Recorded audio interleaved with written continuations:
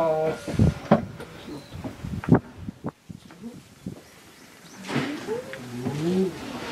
様ようこそお越しくださいました。これより妙見岳駅まで上りで約500メートル3分ほどの行程でございます。私どものこのロープウェイは昭和32年10ヶ月余りの月日をかけて出来上がりました日本の最新のロープウェイ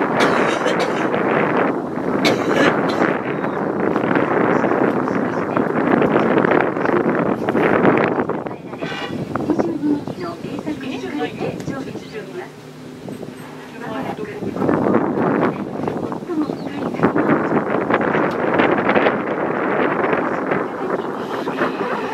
美しい景色をご覧くださいませ。皆様、進行方向に向かって右手をご覧くださいませ。前方に見えておりますのが雲仙五岳の最高峰標高1360メートルの普賢岳でございます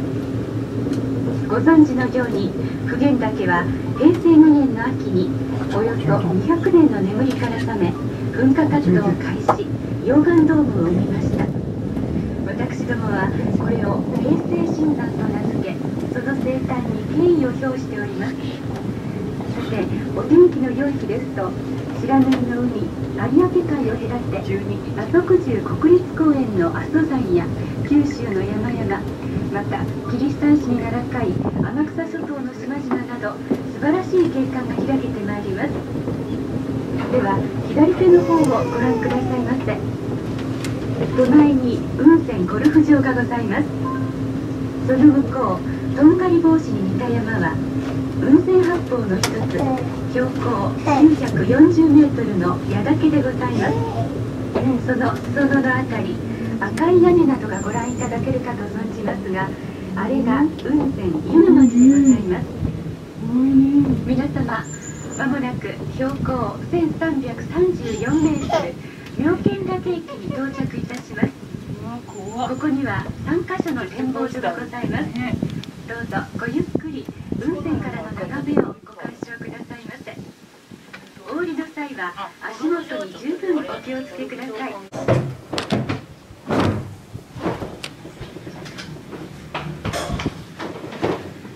皆様大変お疲れ様でございました。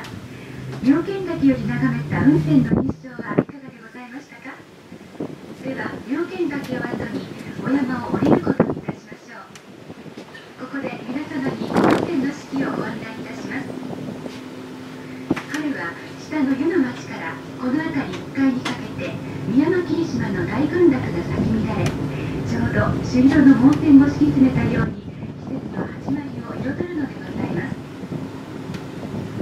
夏は平均気温が21度前後という涼しさで九州の軽井沢とも言われ涼を求める人たちで大変賑わうのでございます。また秋は自然を紅に染めるもみじなどの紅葉が目を楽しませてくれますこの辺りは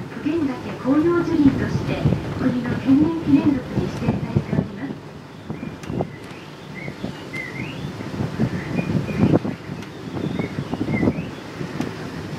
冬は霧氷が名物でございます。この霧氷は夜間零下数度にまで冷えた霧や雲などが弱い北風によって木の幹や小枝に吹きつけられ一夜にして透明な水晶の花を咲かせるのでございますが私どもは花ボーロとか花ボロと呼び親しんでおります雲仙の無氷見にことといえど